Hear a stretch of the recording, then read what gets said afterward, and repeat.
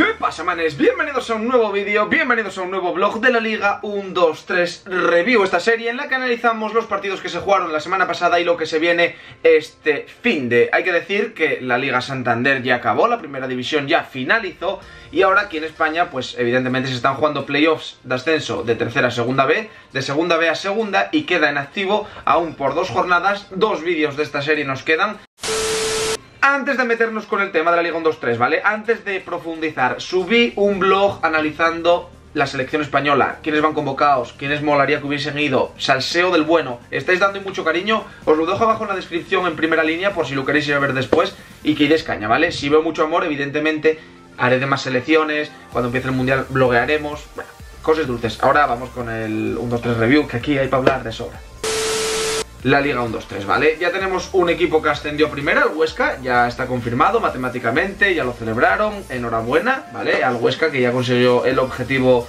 de la temporada y por otra parte, pues eh, este vídeo lleva bastantes cosas relacionadas con el 2, ¿vale? O sea, queden dos partidos, ya hay dos equipos descendidos, hay dos plazas de ascenso aún por decidir, una directa y otra por playoff y bueno, pues eh, está la cosa bastante, bastante chingona. Antes de nada, como siempre deciros, evidentemente, seáis del equipo que seáis, quiero que opinéis, que me digáis quién creéis que va a subir, quién creéis que va a bajar, si pensáis que en el playoff va a haber alguna sorpresa, lo que sea, que apoyéis con un buen like también si os molen estos vídeos, ¿por qué no? Y si sois nuevos, pues que os suscribáis y que activéis la campana, porque eso ayuda mucho, ¿vale? Estamos muy, muy cerca ya de, bueno, pues casi de los 90.000, así que hay que seguir empujando fuertemente el canal. Dicho esto, vamos a empezar rápidamente la revisión de resultados del fin de semana pasado, ¿vale? Lo que sucedió, lo que aconteció, un poco por encima. Evidentemente, el blog del Sporting lo tenéis por si queréis entrar más en profundidad sobre el encuentro del Tenerife Sporting. Y el resto, pues los mencionamos ahora por encima con sorpresas y demás movidas. Así que empezamos, pues, eh, por el Tenerife Sporting, precisamente.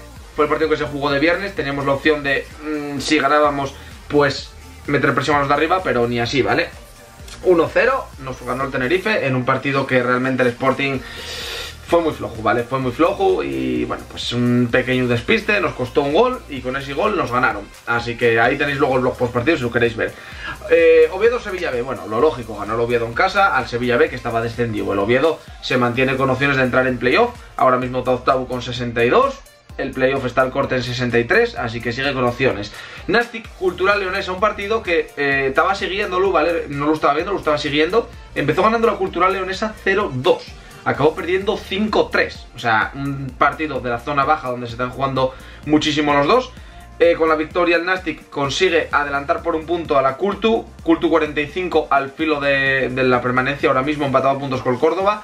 Nastic 46, Almería 46, Albacete 47, Alcorcón 48. O sea, ahí hay un jaleo de la hostia. Pero bueno, el Alcorcón, bueno, ya lo vais a ver ahora. Lorca, Valladolid. El Lorca, equipo descendido, Valladolid, jugándose los playoffs. 1-5 ganó el Valladolid. Granada, Reus. Granada, in extremis, apurando la última chance, aunque lo tiene prácticamente imposible entrar en playoff. Está con 58 puntos, el corte está en 63. Son 5, queden 6 en juego. Y este fin de bien al Molinón y espero que, vamos, que no la liemos, ¿vale? O sea, ganó 1-0 el Reus.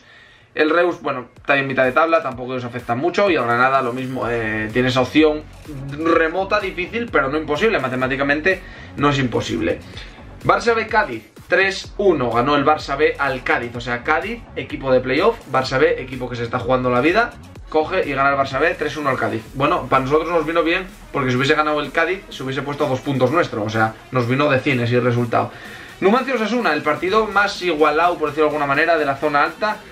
Empata unos, bueno, un partido igualado, pues empata unos. Numancia 62, Osasuna 61. Ambos con opciones de todo y el empate yo creo que no beneficia a ninguno de los dos porque realmente no les permite meterse arriba, o sea, los complica un poquitín el playoff.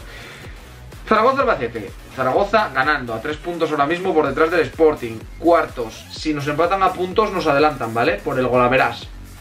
Eh, jugaron en casa, ganaron bien, 4-1, fácil al Albacete. El Albacete se complica un poco la vida con esta derrota. Pero bueno, tiene lo bastante mejor, por ejemplo, que Nastic, o que Almería, o que Culto, o que Córdoba, evidentemente. Sorpresón, Alcorcón, Rayo Vallecano. Eh, el Rayo, si hubiese ganado, ya estaría también en primera pues le clavó 4-0 el, Alcorcón. O sea, el Alcorcón que se está jugando la permanencia. 4-0 y clavó al Rayo. Muy heavy. Córdoba-Almería, el Parry, ¿vale? Un partido que tenía lo mismo, vida o muerte, cara perro, 2-0, ¿vale? Mm, muy buena victoria para el Parry, que se pone con 45 y el Alcorcón tiene 48, por ejemplo, ¿vale? Para que os hagáis una idea. Y bien de ganar al líder, 4-0. Bueno, al líder no, al colíder, 4-0.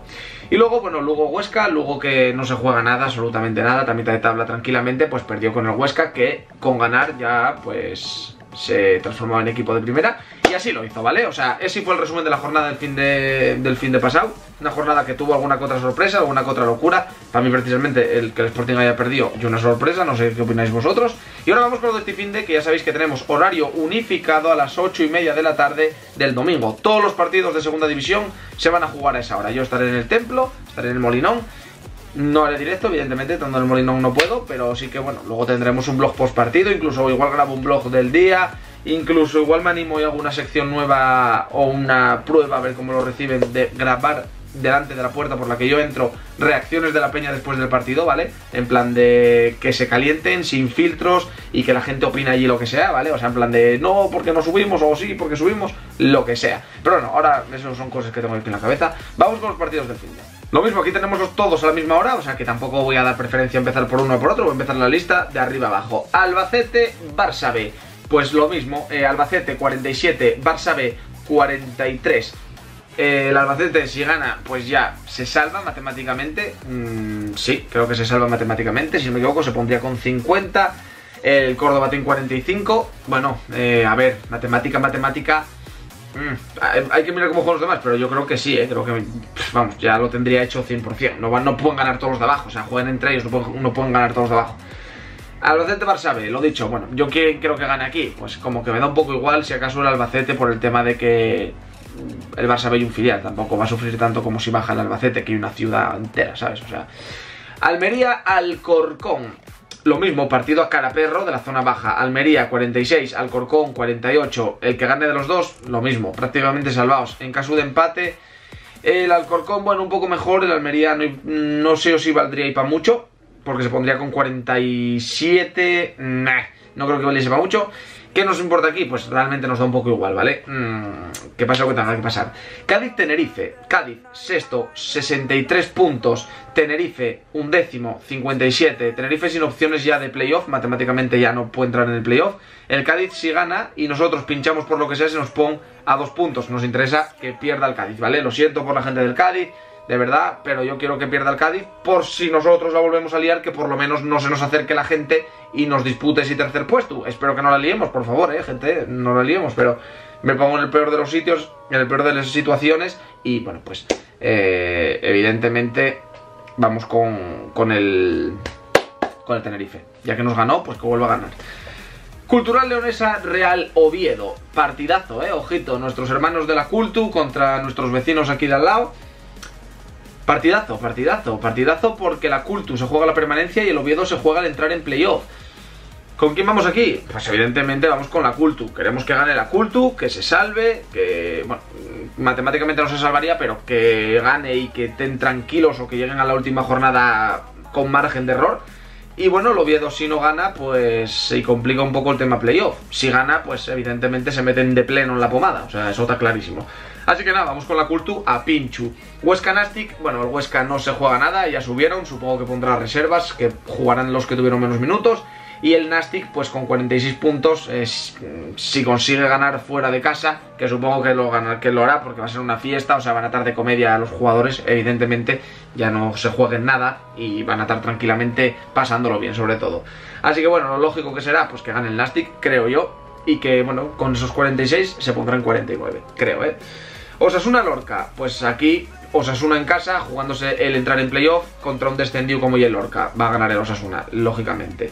Rayo Vallecano Lugo, bueno, aquí el Rayo, si gana, y equipo de primera. Si empata y nosotros ganamos, aún no. Y si no, mm, o sea, y si nosotros mamamos y ellos mamen, pues ya son equipo de primera también. O sea, ellos, eh, básicamente, si nosotros puntuamos uno son equipo de primera. Si nosotros ganamos y ellos ganen, son equipo de primera. Si nosotros ganamos y ellos empaten, pues hay que ver la última jornada, a ver qué pasa. Pero bueno, eh, lo tienen muy fácil, ¿vale? Además jueguen en casa, jueguen contra el Lugo, que no se juega absolutamente nada.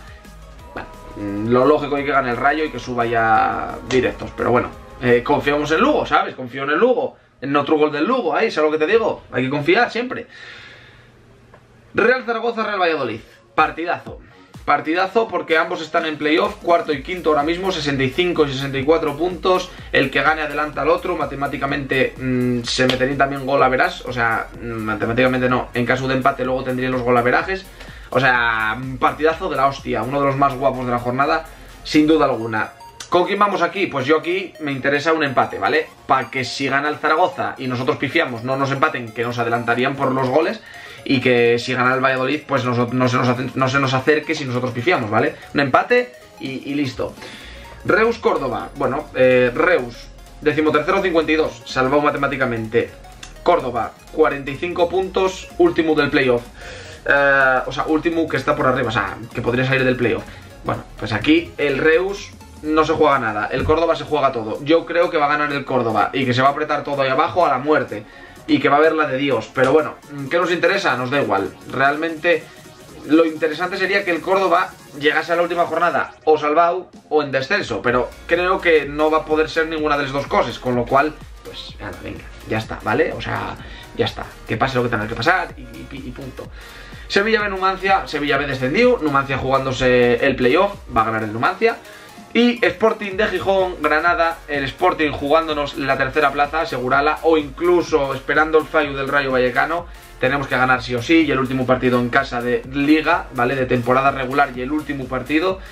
El Granada tiene opciones muy, muy, muy, muy, muy, muy, muy, muy, muy apuradísimas, en plan de prácticamente imposible de meterse en playoff. Tenemos que ganar, ¿vale? O sea, no pueden escapársenos ni uno, ni dos, ni tres puntos. Hay que ganar ese partido, que la moral de la afición esté con ello, o sea, que suba la moral de la afición, que ahora mismo pues la gente está un poco de capa caída, que se enganche la afición con el equipo, porque mmm, subir directos ahora mismo es prácticamente imposible.